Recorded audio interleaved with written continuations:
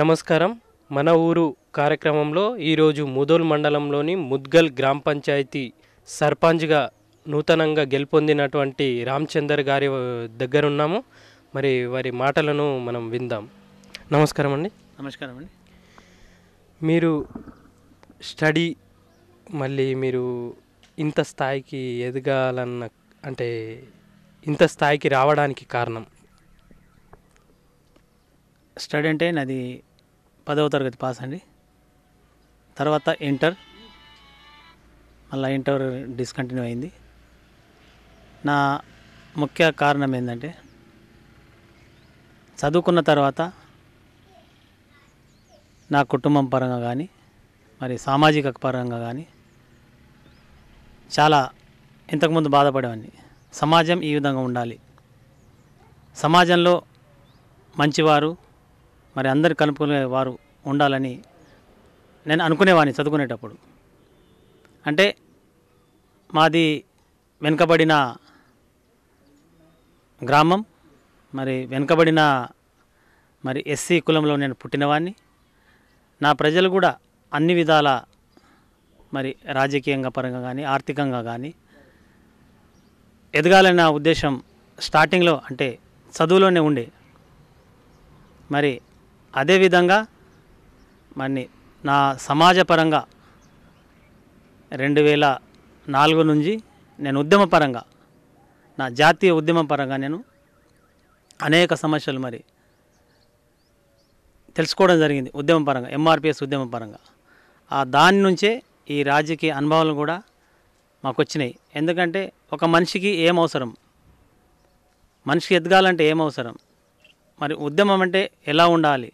ఆ ఉద్యమ స్ఫూర్తిలో కృష్ణమాదిగ నాయకత్వంలో రాజ్య రాజకీయ పరంగా ఎట్లా ఎదగాలి ఉద్యమ పరంగా ఎట్లా ఎదగాలి సమాజాన్ని ఎట్లా ముందుకు తీసుకురావాలని నేర్చుకోవడం జరిగింది. మరి ఎంఆర్పిఎస్ ఎంఆర్పిఎస్లో ఉండి మరి ప్రజలకు సేవలు చేయాలనుకునే ఆ క్రమంలో మరి రాజకీయంలోకి వచ్చిండ్రు సర్పంచ్గా. మరి అంటే మీ అంటే మీ మనసుతోనే వచ్చిరా లేకపోతే ప్రజలు ఒక నాయకుడిని ఎన్నుకుందాం అనే సందర్భంలో మీరు వచ్చారా?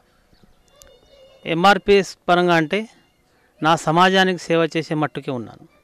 ఈ రాజకీయం అంటే అన్ని సమాజాలను సేవ చేసే చేయటానికి ఇక్కడికి రావడం జరిగింది. అంటే ప్రజలు ఎన్నుకో ప్రజల యొక్క ఆలోచన విధానాన్ని ప్రజలను ఏ విధంగా అభివృద్ధి ప్రచా పరచాలి గ్రామాలను ఏ విధంగా అభివృద్ధి పరచాలి అనే కోణంతో ప్రజలు నేను రాజకీయంలో రావాలని అనుకున్నా దానికి సమయం వచ్చింది. అంబేద్కర్ రాసిన రాజ్యాంగం ప్రకారంగా దాంట్లో నాకు అవకాశం వచ్చింది కాబట్టి ఎస్సీ రిజర్వ్ వచ్చింది కాబట్టి అవకాశం అంబేద్కర్ మా నాకు ఇవ్వడం జరిగింది. ఆయన ద్వారా నేను సర్పంచ్ కావగలిగాను. మరి ఇప్పుడు రాజకీయం అంటే సర్పంచ్గా గెలుపొందిండ్రు అంటే మీ కుటుంబము కానీ మీ ఫ్రెండ్స్ కానీ ఎలా ఇది చేస్తున్నారు అంటే మీకు ఎంకరేజ్ ఫోన్లు చేసి అంటే మీకు ఎలా ఇది చేస్తున్నారు? మీకు ఎలా అనిపిస్తున్నది? ఈ ప్రజాసేవ చేయటానికి ప్రజలు ముద్గల గ్రామ పంచాయతీ ప్రజలు నాకు అవకాశం ఇచ్చిన చాలా సంతోషపడ్డాను. ఎందుకంటే వారి సేవ కోసమే నేను నిమగ్నుండై కావాలనుకున్నాను. నాకు మద్దతు ఇచ్చారు గెలిపించారు. వారి సేవ వారికి ఎటువంటి ఇబ్బంది వచ్చినా వారి సన్నిధానంలో ఉండి వారి మధ్యలో ఉండి వారికి ప్ర- వచ్చిన ప్రతి సమస్యను పరిష్కరించడానికి సిద్ధంగా ఉన్నా ఇంకో విషయం నేను గెలుపు కావగానే నా కుటుంబ సభ్యులు కానీ నా పిల్లలు వాళ్ళ ఫ్రెండ్స్ ఎంత సంతోషపడ్డానంటే నీ ఇరవై నాలుగు సంవత్సరాల జీవిత కాలం నువ్వు ప్రజల కోసం అంకితం చేసిన జీవితాన్ని దానికి ఫలం నీకు వచ్చింది. ఈ ఫలాన్ని చాలా జాగ్రత్తగా చాలా మంచిగా మరి వాడుకోవాలి. ప్రజలకు సేవ చేసే అవకాశం వచ్చింది కాబట్టి కాబట్టి ప్రజలను మంచి సేవ చేయాలని సంతోషంగా చాలా ఫోన్స్ వచ్చాయి నాకు. హైదరాబాదు ఇక్కడ ఆదిలాబాదు నిజామాబాద్ తర్వాత బయట నుంచి కూడా మా ఫ్రెండ్స్ ఉంటారు నా రక్త సంబంధం అక్కడి నుంచి ఫోన్స్ వచ్చాయి. చాలా సంతోషం మీరు ప్రజలను సేవ చేయండి మంచి పేరు తెచ్చుకోండి చెప్పడం జరిగింది. చాలా నేను కూడా హ్యాపీగా ఉన్నాను ఎందుకంటే ఇరవై సంవత్సరాలు ఒక కులానికి సంబంధించిన వ్యక్తిని నుండి ఇప్పుడు అన్ని కులాలు కలుపుకునే ప్రయత్నాలు నేను ఉంటా.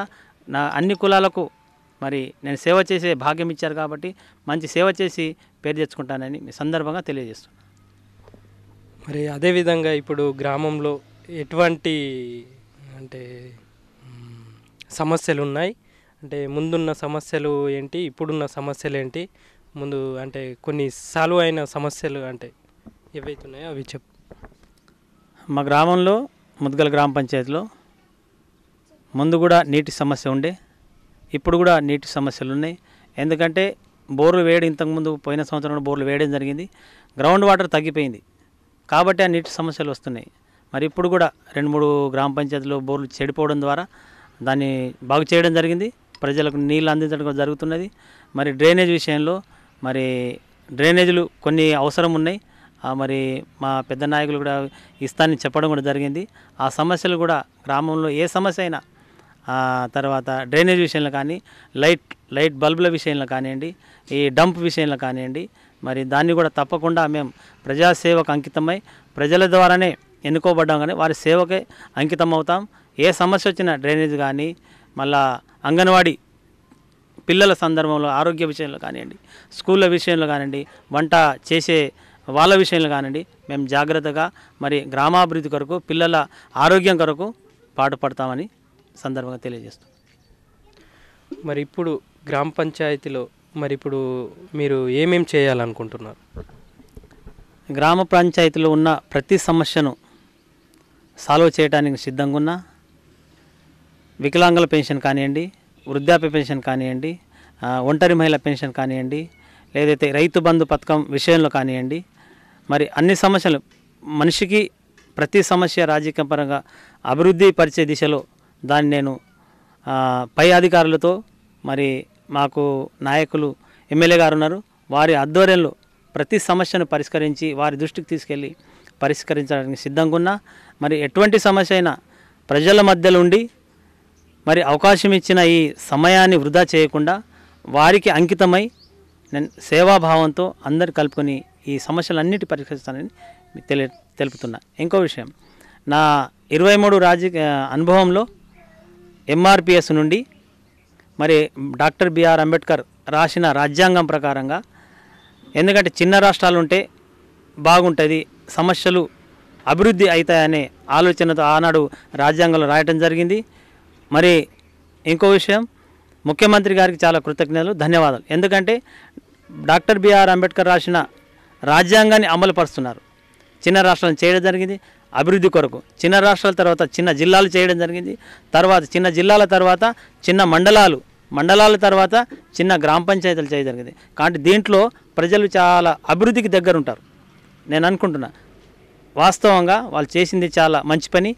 ప్రజల్లో అందుబాటులో జిల్లా కలెక్టర్స్ కానీ ఎంపీడీఓలు కానీ ఎంఆర్ఓస్ కానీ మండల అధికారులు కానీ సర్పంచులు కానీ చిన్న గ్రామ పంచాయతీలు చాలా చాలా కృతజ్ఞుని చాలా ముఖ్యమంత్రి గారికి చాలా ధన్యవాదాలు తెలియజేసుకుంటున్నా. అదేవిధంగా మా దగ్గర చాలా మెజారిటీతో గెలిచిన ఎమ్మెల్యే గారు కూడా టీఆర్ఎస్ తరఫు నుంచి. వారి ఆధ్వర్యంలో వారి అడుగుదాడులు మరి గ్రామాభివృద్ధికి నేను నా శాశ్వత కృషి చేస్తానని మరి మీ టీవీ గారికి చాలా వందనాలు తెలియజేసుకుంటున్నా. ధన్యవాదాలు. మరి ఇప్పుడు సర్పంచ్గా గెలుపొందిరు. మరి ఇంకా ఉన్నత అంటే ఎమ్మెల్యే కానీ ఎంపీటీసీ కానీ ఎంపీపీ అంటే అక్కడికి వెళ్ళగలుగుతారా? లేదంటే ఏదో అంటే సర్పంచ్గానే కానీ ఇంత మట్టుకే సరిపోతుంది అని? అట్లాంటి పెద్ద ఆశలేం నాకు వద్దు ఎందుకంటే నా ప్రజలు బాగుపడాలి. ప్రజలు ఎన్నుకునేది ప్రజలు. కాబట్టి ప్రజలు ఎన్నుకునే మీద ఆధారపడి ఉంటాను. కానీ నా సొంత ఆలోచన. ప్రజలు ఏ విధంగా ఆదరిస్తూ ముందుకు వెళ్ళండి అన్న తర్వాతనే ముందుకు వెళ్ళటానికి ప్రయత్నిస్తాను తప్ప నా సొంత ఆలోచన కాదు. ప్రజల శ్రేయస్సు నాకు ప్రజల మంచితనం నాకు కావాలి. ప్రజల ఆశీర్వాదం నాకు కావాలి. ఎమ్మెల్యేగా అంటే అది చాలా అది ఊహించుకోవడం కూడా మనం మంచిది కాదు. ఎందుకంటే ప్రజల ఆదరణ ఉంటే మనం ఏదైనా చేయగలుగుతాం. ప్రజల ఆదరణ లేనిది మనం ఏం చేయలేం. ఇప్పుడు నూతనంగా గెలుపొందిన అంటున్నారు కదా అంటే గెలుపొందినరు మరి ఎన్ని ఓట్లతోని ఎంత మెజారిటీతో గెలుపొందినరు ముదుగల గ్రామ పంచాయతీ ప్రజలు చాలా నాకు సన్నిహితంగా సాన్నిహితంగా ఒకరి ఒకరి మనసు కలుపుకొని చాలా మెజారిటీతో గెలిపించడం జరిగింది.